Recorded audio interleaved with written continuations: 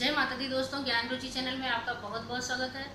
आज हम आपको एक प्रभु का छोटा सा भजन सुनाने जा रहे हैं। हमारा भजन कैसा लगा ये हमें कमेंट करके ज़रूर बताएँ।